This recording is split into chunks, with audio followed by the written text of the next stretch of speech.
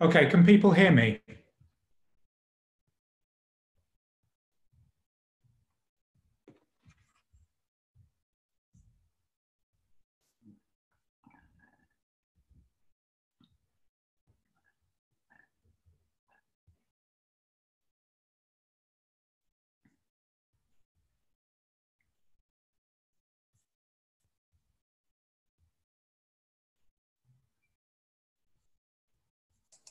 We can hear you, Giles. That's fine to start. Okay. So um, welcome to today's Faraday Masterclass, uh, which is about fast software for simulating battery operation. So uh, while you're waiting, um, please can you introduce yourself into the chat box and select all panelists and attendees so everyone can see your comments.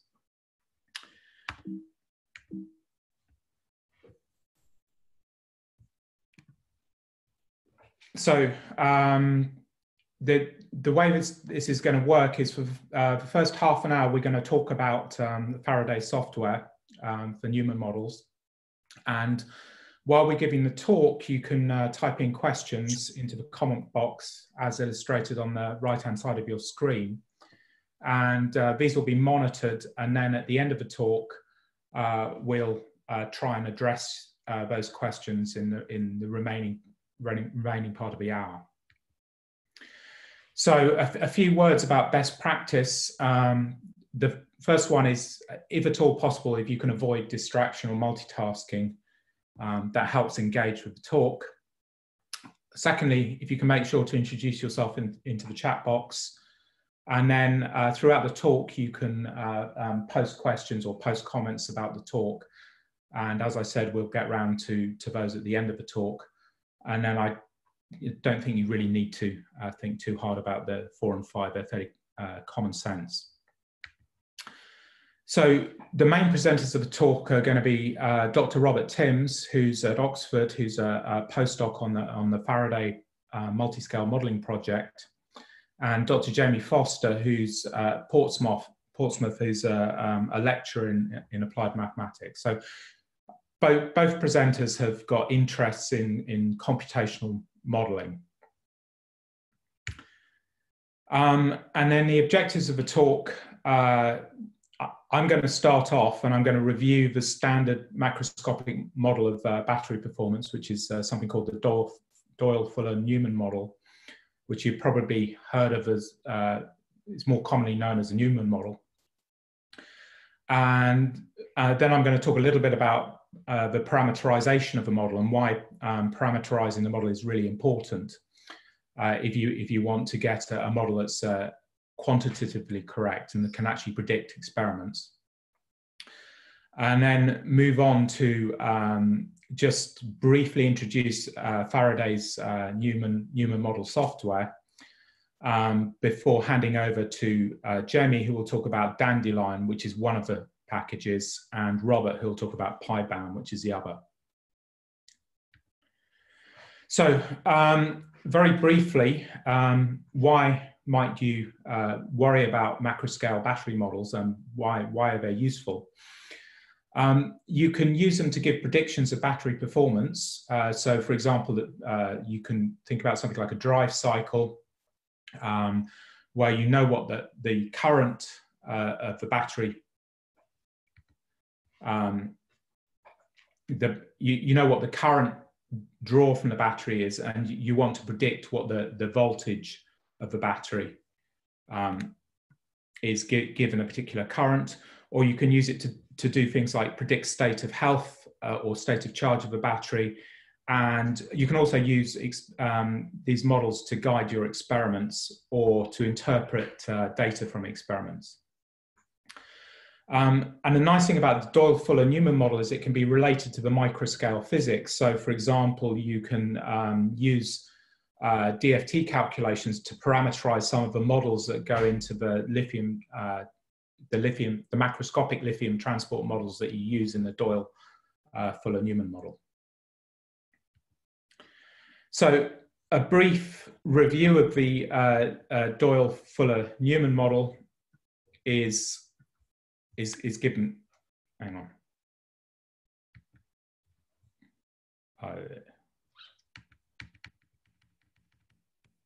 I need to go back a slide.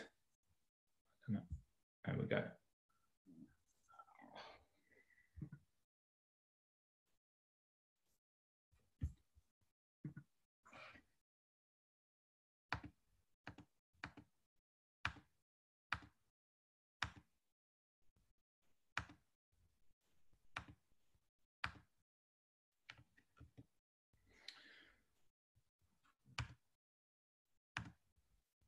Right, so I'm going to start off with this uh, brief review of the Doyle-Fuller-Newman model. So this is a model for a, a, a planar cell, um, as illustrated in this cartoon uh, at the top of the page. And here you see um, you've got two electrodes, you've got an anode and a cathode separated by a porous spacer. And the electrodes are particulate, so um, they're composed, these, these small balls are meant, to represent the, um, the particles of active material. And then the whole thing is bathed in electrolyte. And so you've got uh, transport occurring both within the electrode particles um, and within the electro electrolyte, which runs across the whole cell. So you've got two, two, two scales to this model. There's a macro scale dimension, which is the dimension running across the cell and a microscale dimension, which is the dimension of, of the individual particles. So, and um, the macroscale uh, model is obtained by uh, volume averaging um, some equations for the electrolyte, and then this couples to microscale diffusion equations for lithium transport inside the individual electrode particles.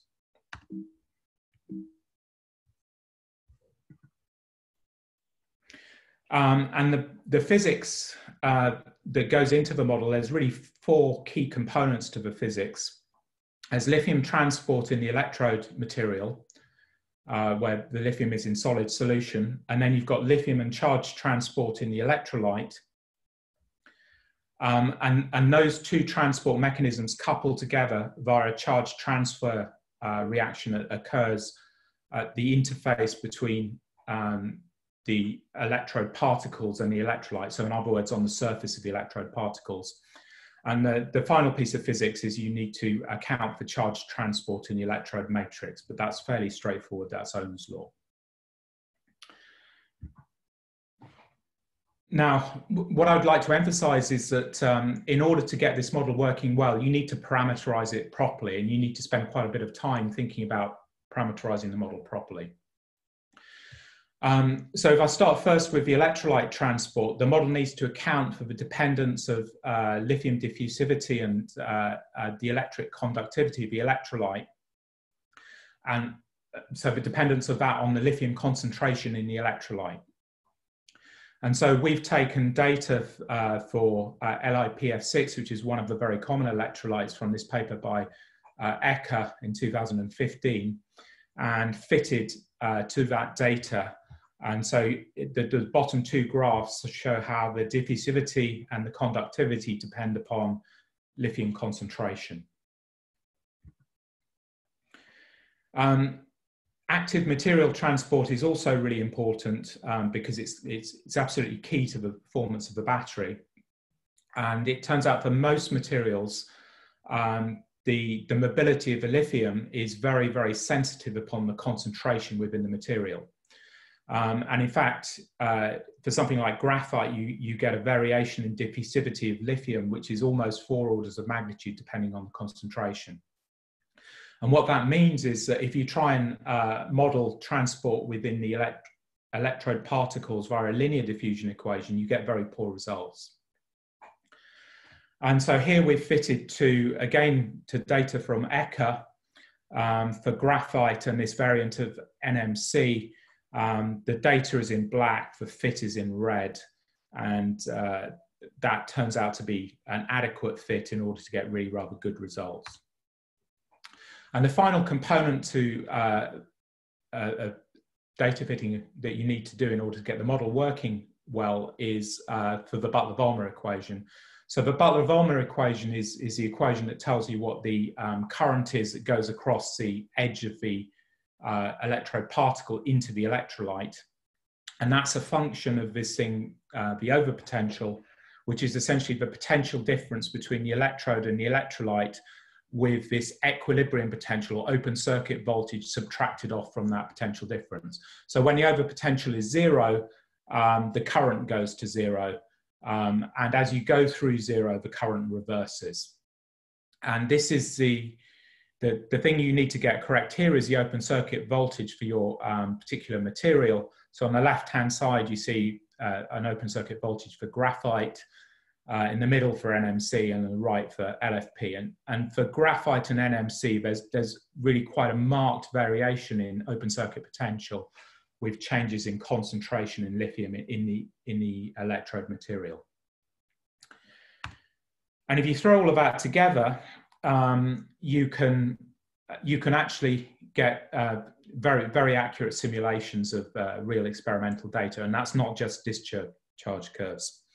So we've uh, gone and tested this out on drive cycle data, which I think is a relatively severe test of the model, and we've compared to some experimental results that uh, Alana uh, Aragon Zülke in Lancaster has for a Samsung Samsung graphite NCA cell, and also that Ferran Brosa has in Warwick. And they both show very good agreement. So I'm going to show you Alana's results here. Um, in the top figure, you see uh, the, the, the, current draw that's been taken off the uh, cell as a function of time. So you can see it's very non-uniform current draw. And then in the bottom figure, a compar bottom two figures, there's a comparison between the uh, voltage of the cell that's measured experimentally and the voltage predicted by the model. So the voltage predicted by the model is in orange and the experimental voltage is in black. And you see that there's amazingly good agreement between the two. Um, so I want to say a little bit about the motivation of why uh, we spent so much time writing these codes. And the reason really is that the commercial codes that are available are, are, are quite slow. And that's fine when you're considering a single cell.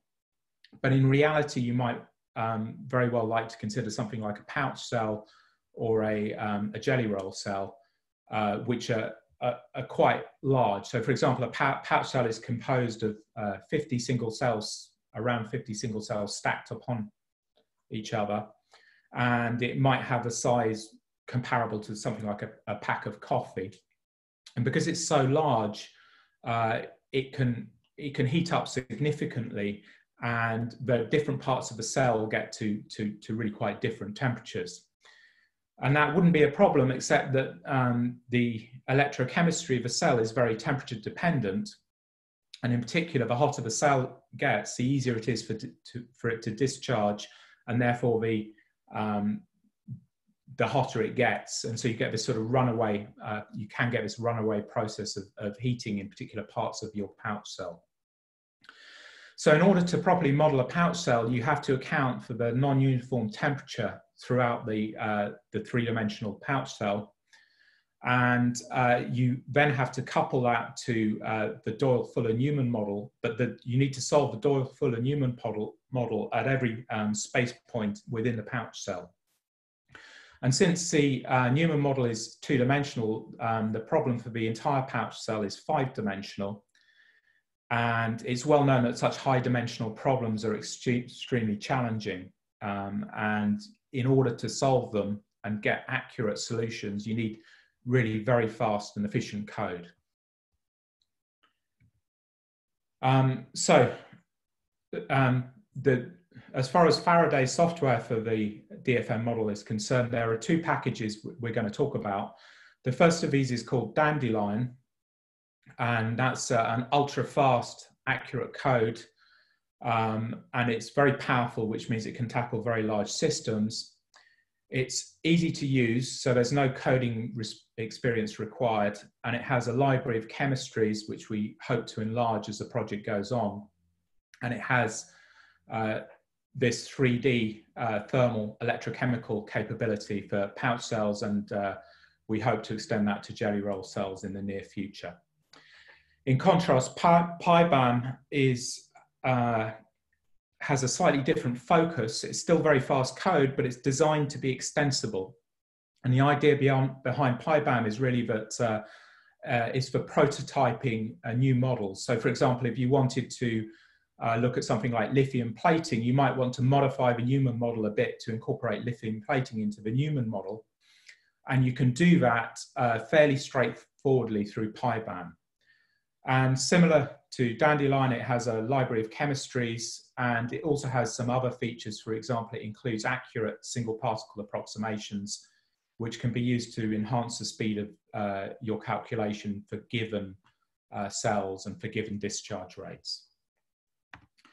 Um, and then a very brief review of the advantages over uh, commercial packages, and these really come down to the speed and the power of these uh, PyBaMM and DandeLiion. Uh, they're, they're much faster um, and speed is important not just for uh, these thermal electrochemical problems, but also for things like optimization and parameter estimation, where you have to make a, a large number of computations in order to arrive to your answer. And I'm going to hand over to Jamie now, uh, who'll take over the presentation.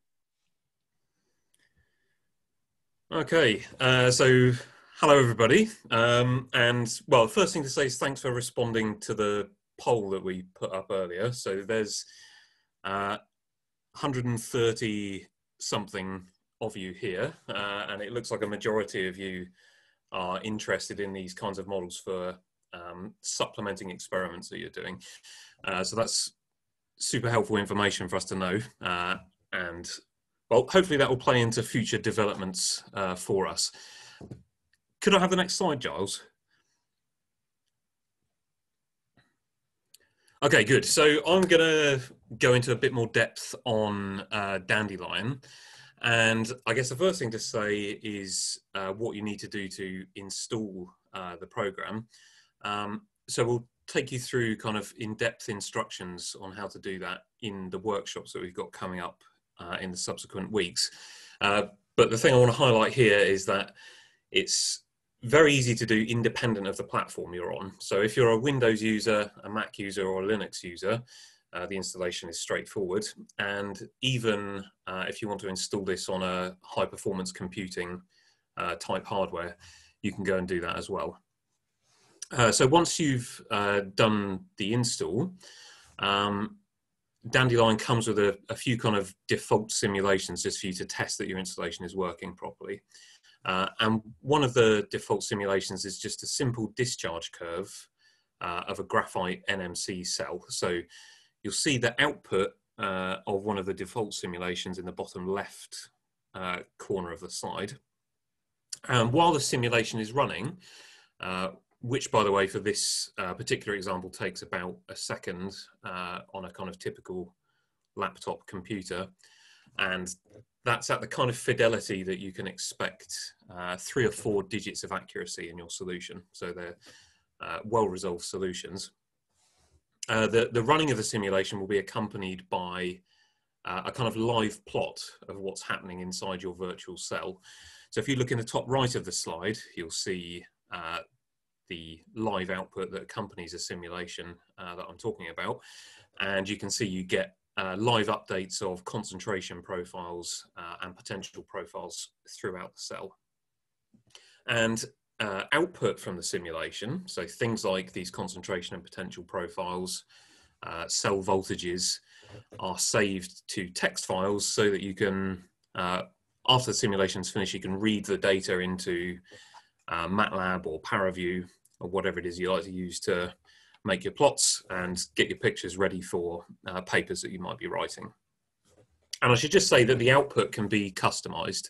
So if you're interested in a particular uh, feature of what's going on inside the cell, you can tell DandeLiion about that and it will uh, save that data for you as well.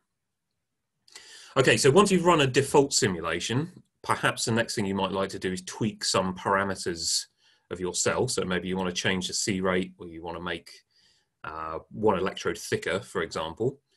Uh, the way that you would do that would be to open up uh, the parameters file. You can see a screenshot of that in the bottom right uh, of the slide. And there are various uh, lines in there. You just change the number next to the property that you'd like to alter, uh, save the text file and press go again and you will simulate this, this new cell that you've parameterized. Uh, next slide, please. Okay, so a couple more words uh, about the parameterizations that are available in DandeLiion. Uh, one thing we've done is to make sure that you've got uh, some parameterizations for commercial cells kind of built in to the software. Uh, so working with the people uh, listed under the bullet points there, we've got um, we've got parameterizations for Kokam cells, uh, a Samsung cell, and an LG cell. And we also have um, what we call a chemical library. So we've kind of scraped the literature for uh, properties for things like graphite, NCA, NMC, and LFP. And so with uh, relative ease, you can go and swap in different electrode chemistries um, as you wish so that you can go and compare them to your experiments. And a little note here, so if you have other parameterizations that you'd like to be available in DandeLiion, please tell us about it. Uh, and hopefully we can work together to build those in as well. Uh, next slide, please. Okay, so this is a result that Giles has already showed, so I shan't uh, reiterate how good the agreement is here. Um, what I do want to point out is the kind of uh, computational resource that's required to uh, do a simulation like this. So in the orange box on the right, you'll see uh, kind of indicator of that. So this takes less than a minute on a standard desktop machine. So this is a kind of machine that I imagine everyone has available. And to put into context just how quick that is, the kind of window of real time that's being simulated here is about seven and a half hours. Um, and the computational time, as I say, is less than a minute. So we're really running these simulations at orders of magnitude faster uh, than happens in reality. And that opens up the possibility for using uh, these software tools for control purposes and things like that. Uh, next slide, please. Okay, so the other kind of major selling point for DandeLiion is that it can do these very large systems. Um, and I don't want to go too in depth on this, but typically in computing, as you increase the size of a system, uh, the computational cost gets very large very, very quickly. Uh, and in DandeLiion, we've worked hard to make sure that it exhibits something called linear scaling. And what this means is that you can, as you increase the numbers of equations that you're trying to solve, your computational cost does go up, but only in proportion to the number of equations you have. So it remains manageable uh, for longer. And to give you some idea of what we can do, uh, we can solve uh, tens of millions of equations uh, in less than half an hour, again on uh, computing resources that everyone has available to them. Uh, and you may well ask, well, why why should I care about that? Why is that important? Uh, and if we flip to the next slide, uh, I've got an example of why that's important. So here is uh, a meshing of a Kokam pouch cell. Uh, so there are 48 uh, cells stacked within the pouch. And each of those 48 cells uh, has been discretized in a 12 by 36 grid. And if you write down a a fully fledged electrochemical model on this geometry, roughly what you're asking to do is solve 5 million equations. Uh, so this really is a lot of computational expense. Uh, and if we go to the next slide, uh, we'll see a video of a result of a simulation like this. Uh, so this cell's being discharged at 1C. Uh, we're solving, as I said, the fully fledged electrochemical model uh, and predicting the temperature within the cell um, and we've done done boundary conditions here here where the cell is thermally isolated, except for at the tabs. So if you look on the left hand edge of the simulation, you can see the evidence of uh, some cooling going on via tabs there. And even though this simulation is very heavy lifting computationally, uh, we can still run uh, simulations even of this complexity faster than reality. So this is a 1C discharge, so you're seeing a real-time window of about an hour. Um, and you can do simulations like this on a laptop in about half an hour. Um, okay, so that's all I've got to say about DandeLiion for now. Uh, there'll be another poll question coming up momentarily. Uh, so we'll give you a bit of time to respond to that, and then we'll hand over to uh, Robert. Thanks.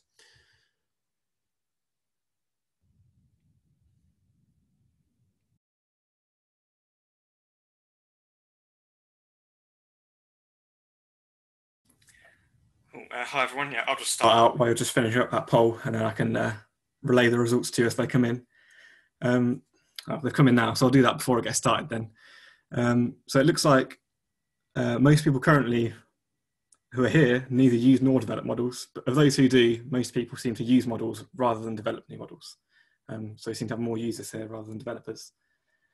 Um, so anyway, yeah, I'm going to take a few minutes now to talk about PyBaMM, um, this other package that we've been developing, and try and talk about uh, what our idea was with PyBaMM and what the sort of focus of this package is compared with DandeLiion. And then I'll show you some examples of things you can do in PyBaMM uh, before we finish off. So really we wanted to make something that was a framework that allowed people to easily build, solve and share battery models as well. Um, and the idea of this was that it would be fast, flexible and modular.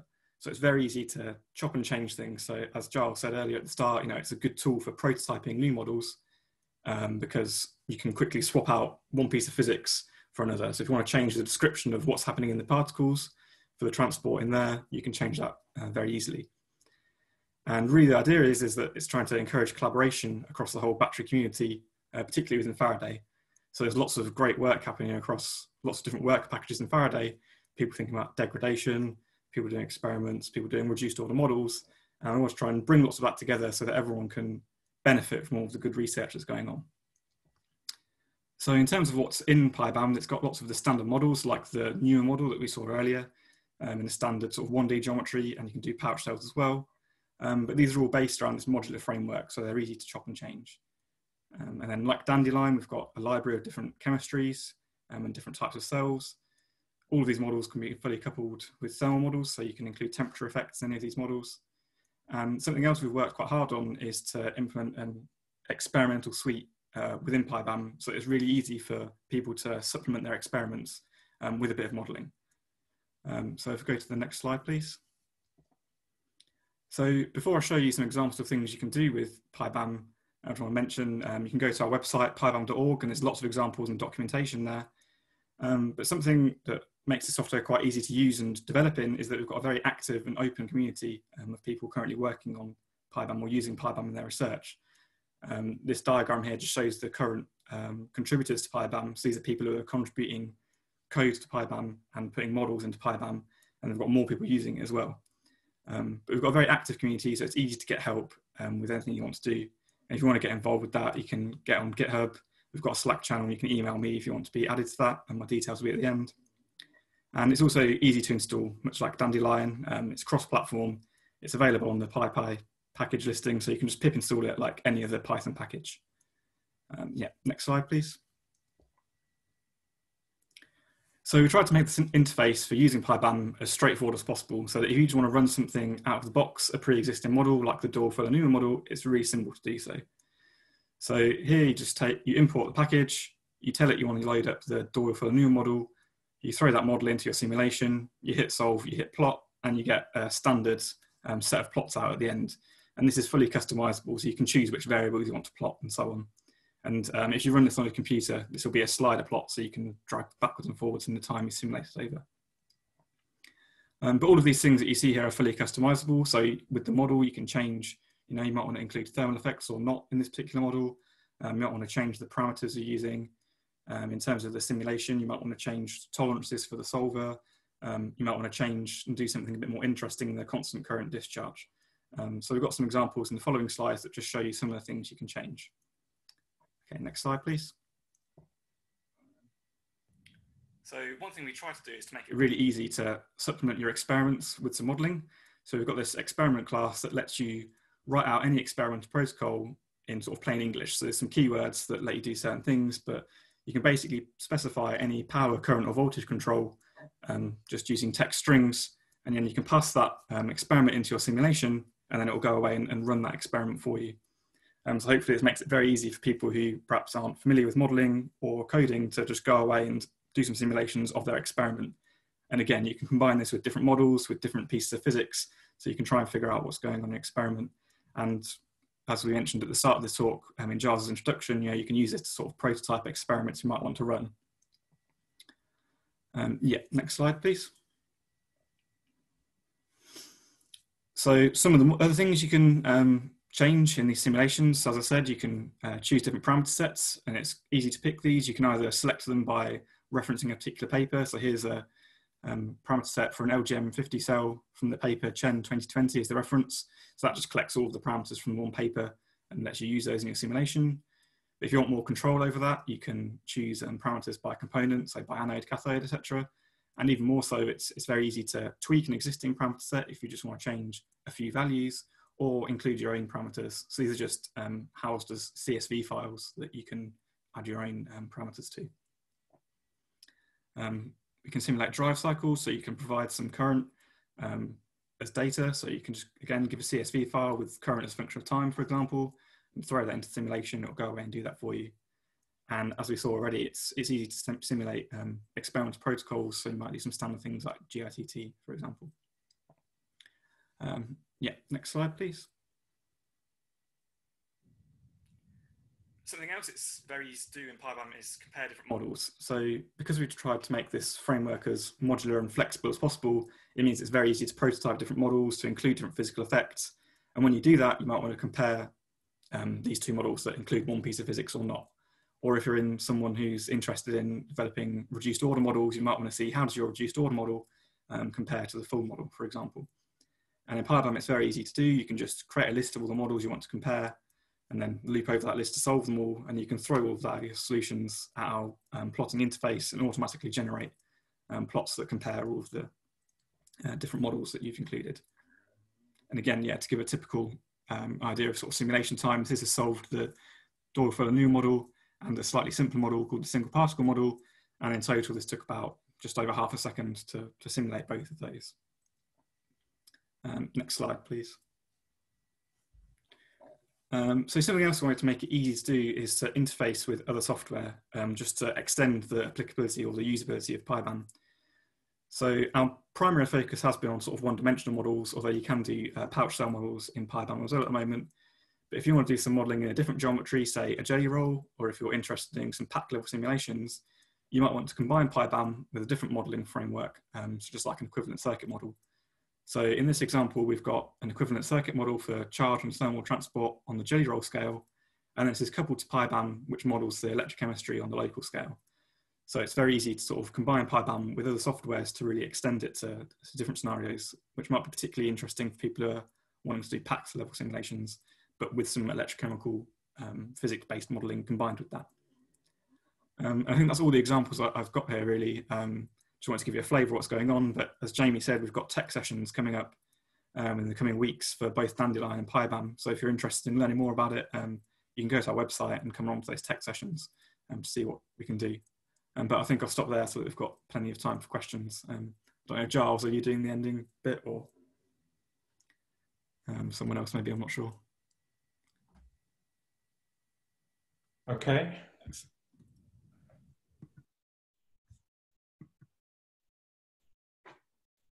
So, I mean, this is just the information uh, for where you uh, uh, find out more about these packages. Um, so you can uh, contact, uh, you can you can look at the PyBaMM website or email Robert. Um, and uh, if you if you want to download DandeLiion, then you can get access to our GitHub page by emailing Jacqueline Edge. Um, and for technical queries, uh, the best person to ask is Ivan Korotkin, who's uh, responsible for most of the, the, the coding of DandeLiion. And uh, yeah, so he's, he's really the best person to ask.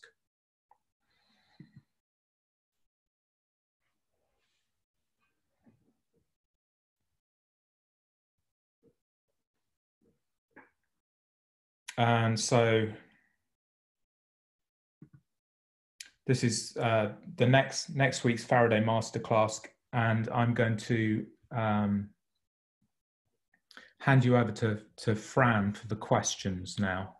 So I think we'll we'll all try and answer the questions.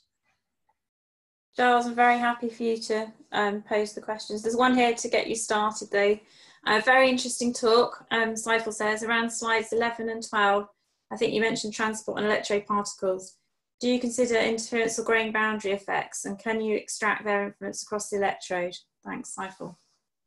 So the what what we do there is uh, we're using a, a, crude model, this nonlinear diffusion model that um, implicitly takes account of the grain boundary effects um, because it's it's quantified against experiment. So presumably, if you make a, a graphite electrode particle, it depends on how you you make it uh, as to what the coefficients in the in the nonlinear diffusion equation should be. So I, I, don't think all graphite particles will be the same. And similarly, I, I doubt that all NMC particles will be the same. So at the moment, we haven't we haven't gone into the the details of how how grain boundaries uh, or how the number of grain boundaries, density of grain boundaries affects the nonlinear diffusion.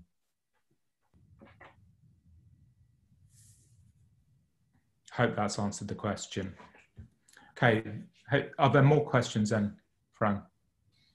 If you click the Q&A box at the bottom, Giles, you can see the questions that have been asked. So there's one, uh, so there's one from Aaron Walsh. Uh, kind of answered it in the chat, but uh, so Aaron was asking uh, about whether uh, we can use these things uh, to interface with machine learning.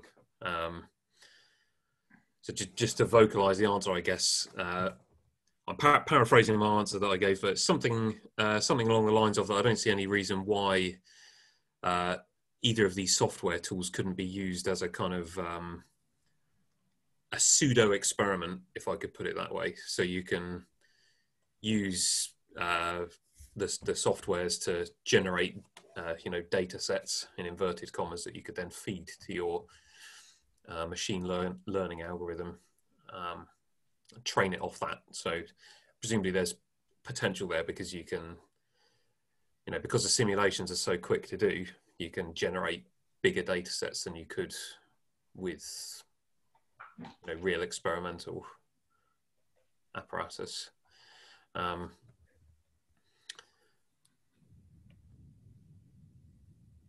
Do you want to give me another question? I can I can give you another question. So this is from James Le Houx. Uh, who asks, uh, we mentioned uh, that each of the softwares have material databases for parameters.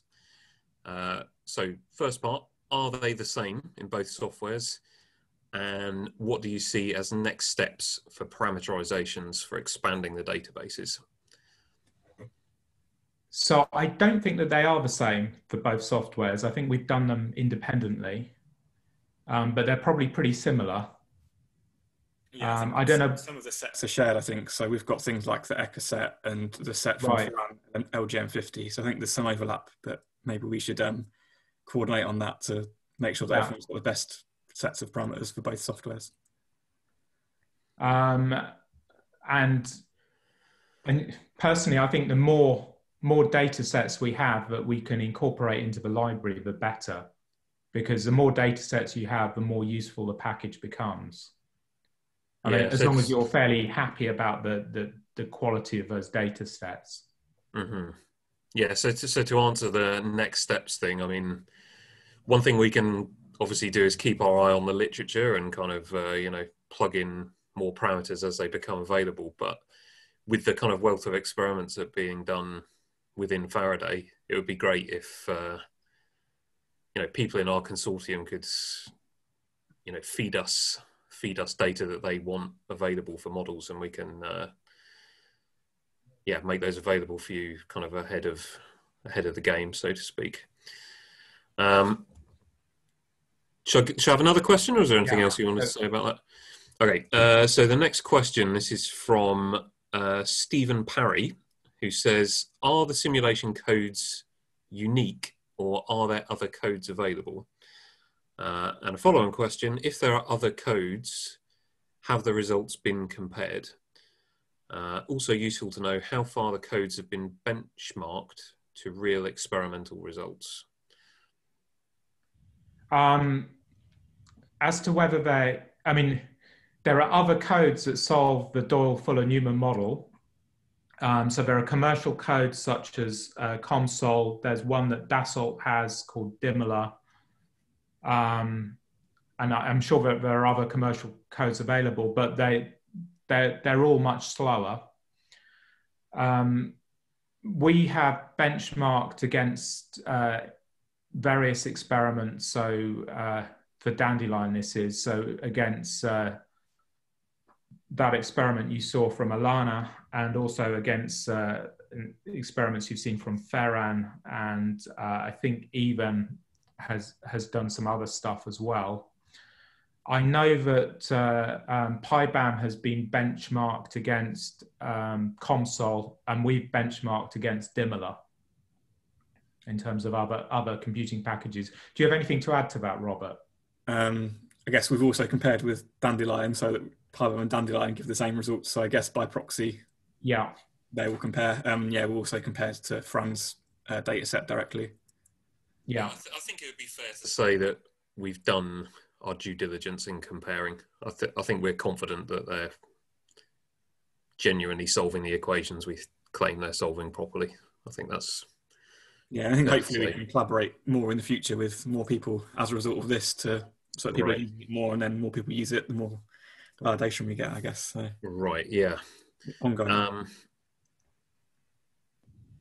okay, uh, next question. Anything else you want to add to that? Or? No? no? Okay, so this is one from uh, Nivedita. Apologies if I've pronounced that wrong. Um, so, question is: Can we model lithium sulfur? Uh, and yeah, I I don't know the answer to that. Uh, as far as I mean, Robert, do you know anything about lithium sulfur? Have you tried to to do that? We've got some people who are interested in doing lithium sulfur, and I think have started to think about it. So, if you're interested in doing it, maybe email me, and I can put you in touch with them. Would be my answer. Okay. Good. All right. Um, okay, so one from John Owen. Uh, do we calculate electrode tortuosity uh, using the Bruggeman approximation as uh, Newman did, or do we do something cleverer, or we don't care because it doesn't make any difference? Um, so we currently use Bruggeman, but the tortuosity is in there as a submodel. So it's, you know, you can extend it to include different effects. We're talking to people about, you know, people are doing simulations at a different length scale to us to try and give us those effective properties. Um, does it make any difference? Uh, I don't know if I can answer that question right now. Maybe not. maybe.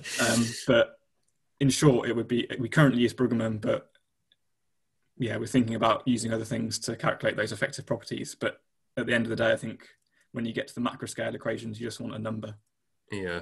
I mean, to, to answer that question slightly differently, I mean, so users are free to specify what they like for permeability. So if a user has a has a preference on this, like if somebody particularly wants to use Bruggeman or somebody particularly doesn't want to use Bruggeman, they're free to do that. So, um,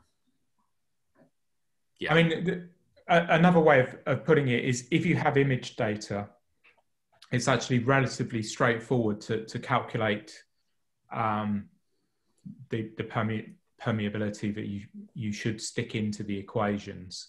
Uh, I know that James Le Houx, for example, has got loads and loads of image data from uh, UCL and has been doing exactly this um, calculation.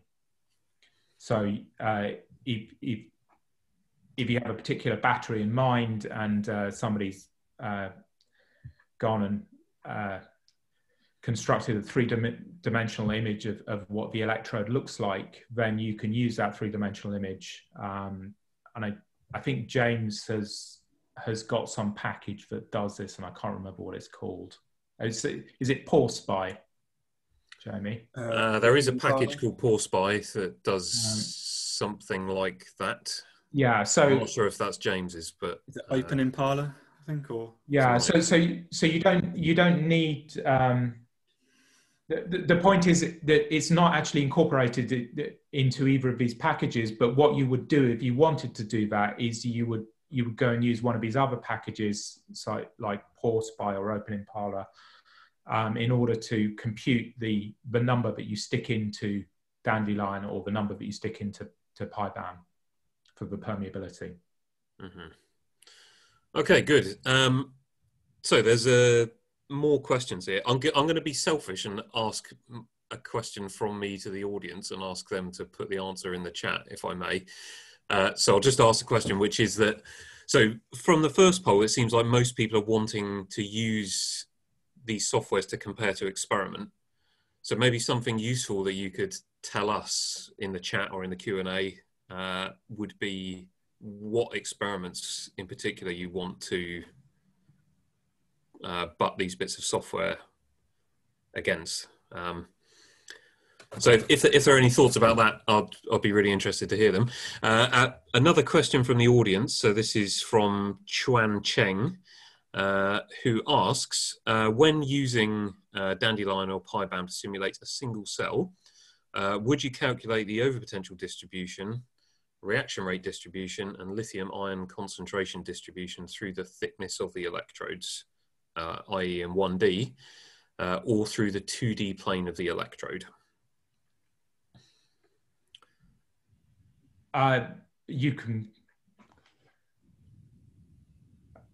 So I presume you you're you're talking about um, you'd calculate it in one D because it would be the same at every every point in the two D plane of the electrode until you get towards the ends. I presume that's what.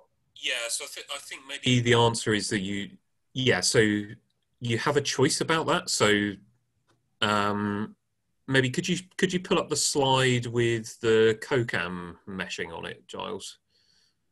Maybe that would be a useful thing to show. This one here. Yeah.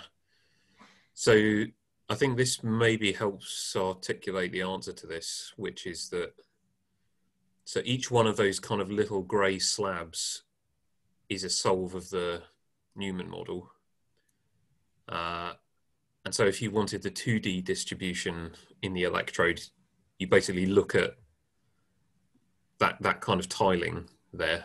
So they you can have a series of 1D simulations which mesh a two-dimensional plane, and you can couple those simulations together either thermally or by the potential in the current collectors, for example. Um, I think I think that. Do you want to add anything to that? Anybody? Or? Yeah, I mean, I think the question is the quantities you get are spatially resolved, and the answer to that is yes, if that's the correct way of reading that question. Yeah, I think yeah, I think that's.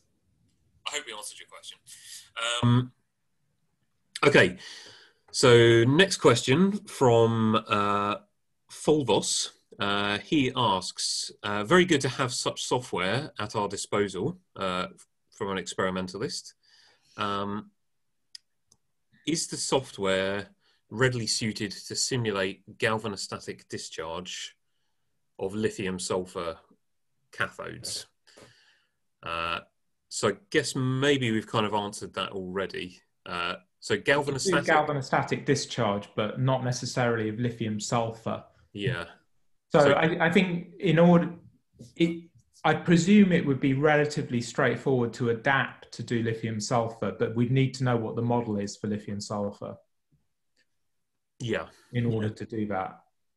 And yeah, I think it adds like, yeah, we, so yeah, we've got some people thinking about lithium sulfur, but if people are interested in adding new bits of physics or um, different chemistries or so on, then you know they're free to come and collaborate and try and stick that in if there is something you want it to do that it doesn't currently do.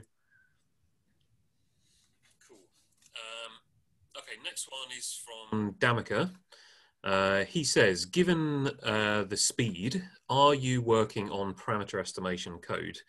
Um, ideally, if we can provide a drive cycle data set uh, and then get DandeLiion to fit a subset of parameters, that would be great. Um, so currently we're not, but um, we'd be very happy to collaborate on this. I know that um, people are doing this in, with PyBaMM. I know uh, in particular that Dave Howey in Oxford is is doing parameter estimation with PyBaMM. I, Robert, can you fill in any details on that? Yeah, I mean we're thinking pretty hard about parameter estimation at the minute. That's more the route we're going down rather than doing the sort of big scale problems like the pouch cell stuff that you've seen. We've sort of taken the parameter estimation fork in the road. Um, so a lot, a lot, a lot of our attention is focused there at the minute. So, and yeah, get in touch. Uh, okay, good. Uh, so the next one is from Chris Skylaris. He says, "Thank you for the interesting talk. Does your Newman model uh, include, or can it be made to include, non-uniformity of the electrolyte particles, uh, or at least a range of radii of spherical particles? Uh, I assume they're currently currently described by spheres of the same radius. So at the moment, we we we can allow for non-uniformity of, uh, of spherical radius in space. So you can have big big particles, say near the current collector, small particles near the separator. Um, and I think it it's, it's something that we're thinking about doing is is putting in a bimodal distribution. So you can have um, big and small particles at the same point in space but we haven't yet done that.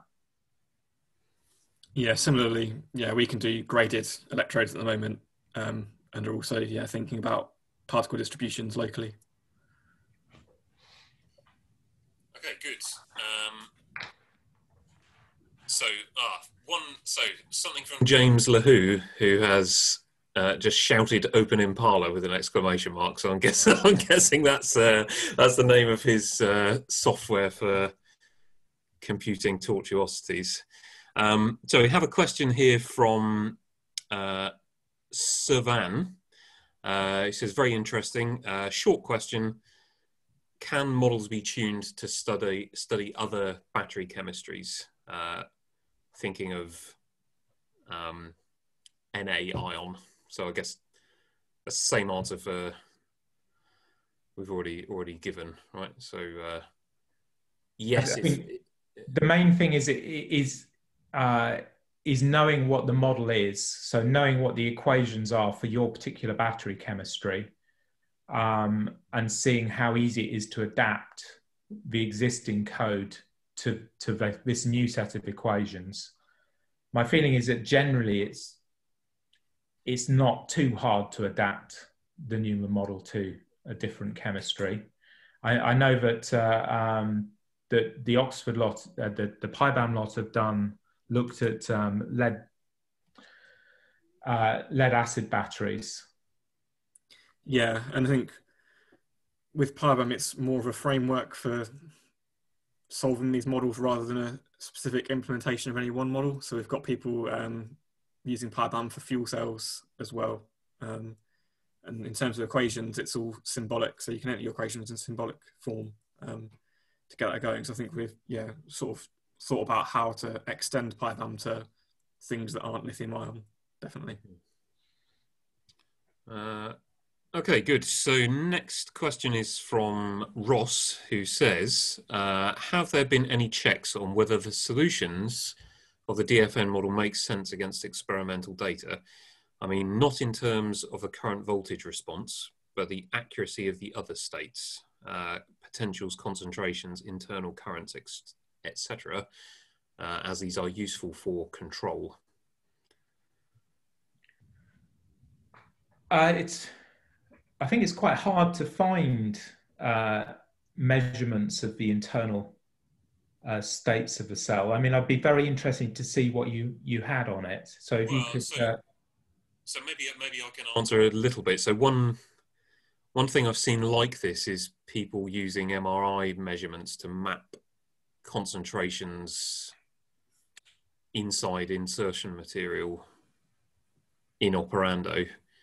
Uh, and we have compared against that. So we have done um, a comparison for a graphite anode uh, using a DFN model. There's a paper on that. Uh, so the list of authors is quite long, but uh, Sergey Krachkovskiy is the lead author, and it's in Journal of, Journal of Physical Chemistry C. It's called something like Operando Mapping of Graphite Electrodes. I, am an author on it as well. Um, so I think that's, as far as I know, that's the closest we've come to doing that. Uh, have you got anything else to add to that, Robert? Or? Um, no, I don't think so in terms of that. No. Okay.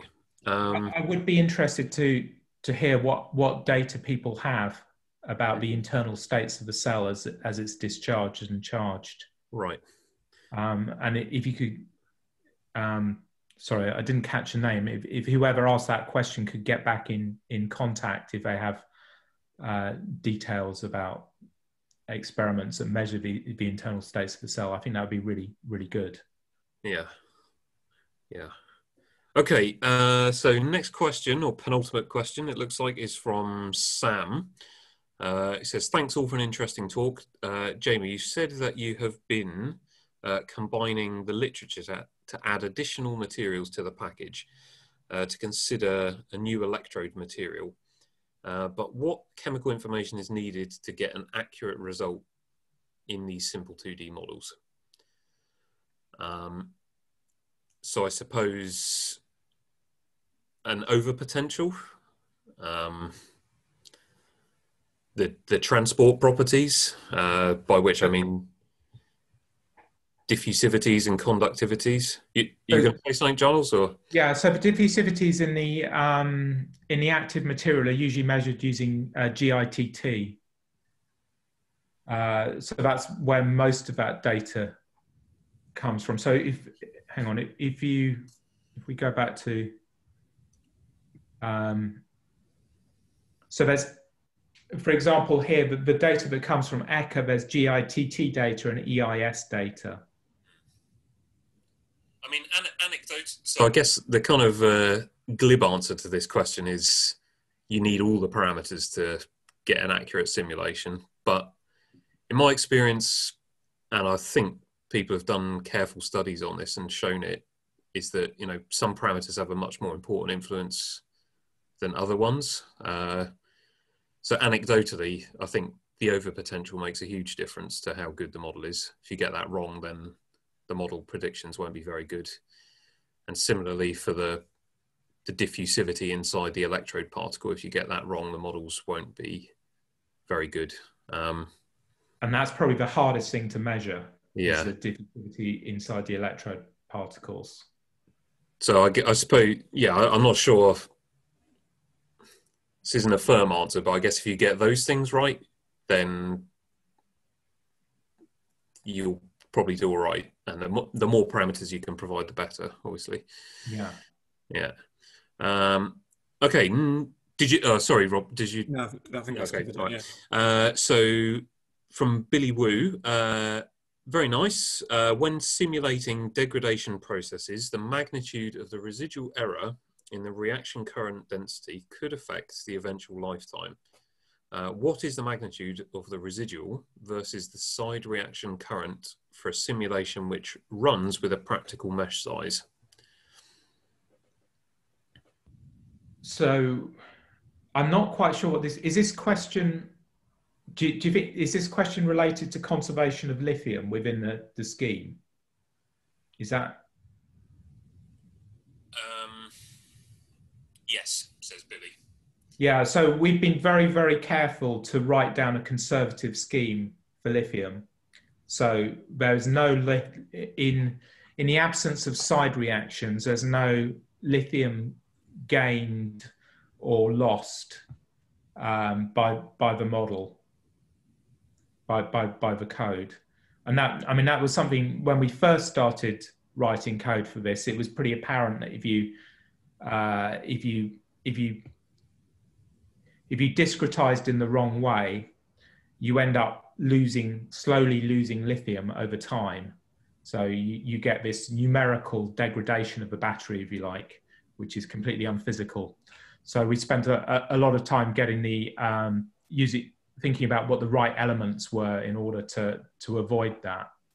Mm-hmm. So we, we're pretty happy about that in our code and so you can you can run the battery thousands of times in the absence of any degradation mechanism, and you, you've got the same amount of lithium there. Uh, okay, so one more question's popped up in the meantime. So this one is from Michael Cornish, who says on slide 13, he thinks, um, is the comparison to the experiment uh, to the same experimental data shown, or was the model fit to a different experiment and then simulated to compare to this separate experiment? Uh, no, I think the comparison to the experiment was uh, so the fitting was from. Uh, so I, would have to ask Ivan about this, but I think the fitting is is from GITT data, um, and then this is a simulation based on that fitting. Yeah, I that, that fits with my memory as well. I think I think that's correct. But I mean, Ivan Ivan really has the details about this, and he, he well, Ivan and Alana are currently writing this up. So um, they're, they're, they're really the people to ask about the, the exact details.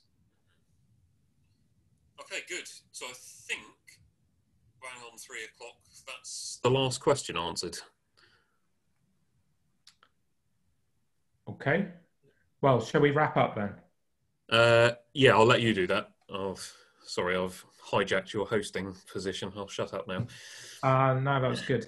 Uh, so, I mean, I'm just going to go back to the next step slide, uh, just so that you have uh, the relevant websites and email addresses uh, in case you want to get more involved with the software. Um, and then please do um, come to the training sessions if you're interested. And uh, the training sessions are over the next. Jeremy, do you remember when the training sessions are? Next, I think they're the next couple of weeks, two or three weeks. Yeah. Um,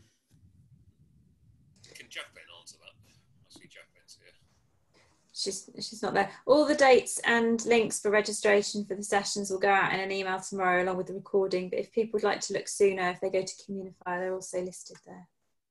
Okay, brilliant. I've got them here if you want me to say. Um, DandeLiion is 12th and 19th of May, and PyBaMM is 2nd and 9th of June. Okay, great. I think the info's on the next slide, Giles. If you flick to the next slide, uh, to that, yeah, Communify, people can sign up there. And then next week, um, it's Saiful Islam who's going to talk about uh, atomic scale models. Okay, so I think I think that's everything that we've got to say. So uh, goodbye and thank you very much for attending. Thanks, everyone. thank you.